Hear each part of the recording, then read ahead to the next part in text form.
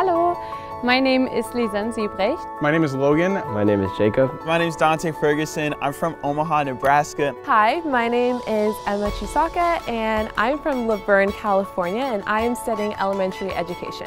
I am from Orange County, California and I am studying psychology. I'm from Germany and I study business management here at Hope International University. I instantly fell in love. I felt at home. I felt really seen and loved by the staff who showed me around and I knew that I wanted to make Hope my home for the next four years. I think one of my favorite things about HIU is that I can walk around campus and have conversations with anyone because of the small university atmosphere. I came into Hope being a fresh Christian. I started college not even being a Christian. So getting a lot of biblical backup and research and getting to talk to professors who care deeply about their faith has been something that has helped me grow and help me develop and become a, a more hungry follower of Christ. Every Thursday morning I'm always excited to walk to chapel and to just be present in the moment and to, to be reminded of what actually matters in life.